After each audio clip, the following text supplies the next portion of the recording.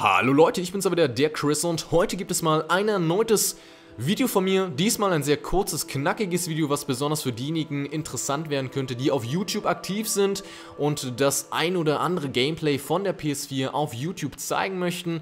Und zwar handelt es sich heute hierbei um die HDCP-Verschlüsselung, also das Verschlüsselungssystem für die HDMI-Schnittstelle, ähm, die ja längere Zeit bei der PS4 standardmäßig am Start war und äh, man konnte das leider nicht umgehen, außer man hatte einen HDMI-Splitter.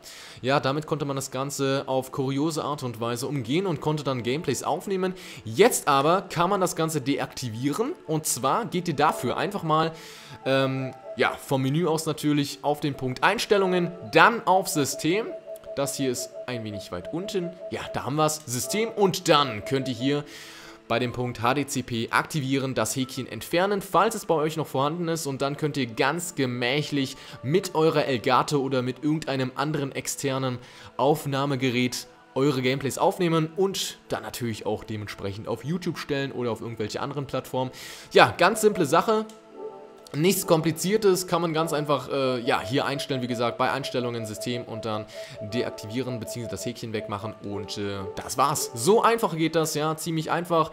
Ähm, ja, und von daher hoffe ich mal, dass das dem einen oder anderen ein wenig weitergeholfen hat und von daher würde ich mal sagen, ciao Leute, man hört sich eventuell beim nächsten Mal.